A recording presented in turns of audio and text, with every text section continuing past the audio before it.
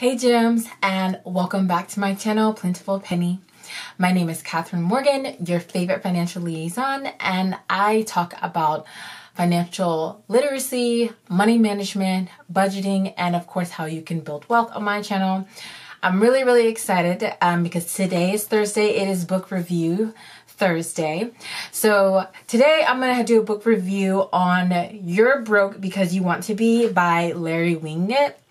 I unfortunately lost the cover. It's like a picture of him standing up with his arms folded to the side. Um, and I lost the cover. Um, I don't know where it is, but that's neither here nor there. So I'm going to tell you guys um, about this book.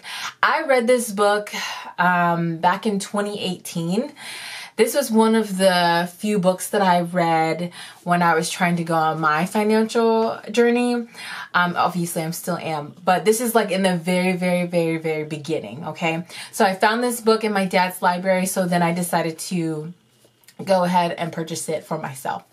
So, um, this book has 200 pages. It is a super, super easy read. Okay, um, the book is split up into three parts. Um, they do eight chapters in total with the book. Um, the and then of course, with it being 200 pages, I'm just gonna kind of give you guys the reasons why I love the book.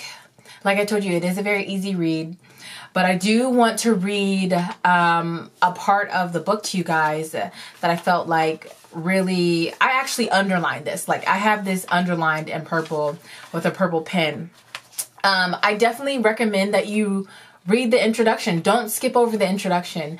It's very easy to, you know, skip the introduction or the prelude of a book, but I would tell you to read the introduction. So this is on page three. Um, so basically the subtitle, it says victimhood, a privilege you can no longer afford. So I'm just going to read the things that, a couple things that I underlined at that time back in 2018 when I first read the book. So this is what it says. Stop being a victim. And then it says, you chose to spend your money the way that you did. Your life is a reflection of the choices you have made. If you want a better life, then make better choices. When you do, you'll find that taking credit for your success for your successes feels a lot better than blaming others for your failures. Um, and then it says, if you're desperate to improve your financial situation, then this book is a great place to start. And I 100% totally agree. I do think this is a really good start, especially in the beginning. Um, because not everybody starts off with Dave Ramsey, even though he's awesome. But I do definitely recommend that you do read this book. Like I said, it's an easy read. You, I mean, you can get through the book within like a day or two. Because I got through the book in like two or three days myself, and and I was doing other stuff. I was in school at the time. Um, and then so honestly, the biggest takeaway that I feel like you should take away from this book well that I got from this book and I feel like you will too is that you are the problem. Your habits are the problem. You need to look in the mirror and realize that you have the power to change your financial situation. Um, and what I really love about the book is that he actually gives you small steps, small actionable steps that you can make today to do it. He also gives you real life ways to cut your expenses, especially if you have low income which is really good. Really, that is very, very. Um, I feel like I've read a lot of financial books, and not a lot of people do that. Not a lot of people give you actionable steps for you to do. Um, and then, lastly, in the back of the book, and a few times, it, um, he makes you write out and plan with actionable steps that you can start today that you can do yourself. So I do really like that. I do enjoy that feature. I didn't use that feature um, because, like I said, I'm in school and I'm living with my parents, so I don't necessarily have a lot of expenses, right? Um, nothing like super serious, you know. Um, and then a couple more things. I do want to leave you uh, with another thing that I'm actually going to read one more thing. And this is on page 27. I'm reading this to you because I just felt like it was this is something that I feel like everybody should know and that people just need to understand. So, um, and this was in chapter one. Uh, chapter one is called Money Matters. So on page 27, this is what he says. The subtitle says, Money magnifies everything. And I'm going to repeat that again. Money magnifies everything. Having money is like holding a magnifying glass up to every aspect of your life.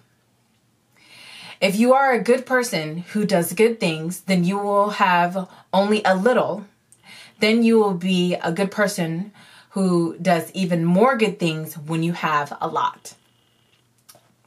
So I feel like that's very profound. And then he also says this he says, if you are rude, discourteous, arrogant, I'm not gonna, he does cuss a lot in this book. He does.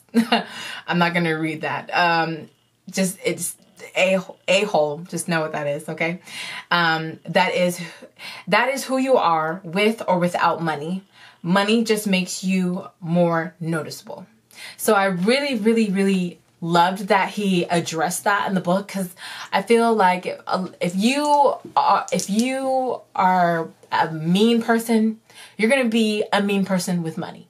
That's it. If you're a good person and you're a great person and you're sweet and you're lovely, you're gonna be a great person with money. That's literally the only difference. Money is a tool. And I love how he breaks down about how like money doesn't bring happiness Money isn't to make your problems go away.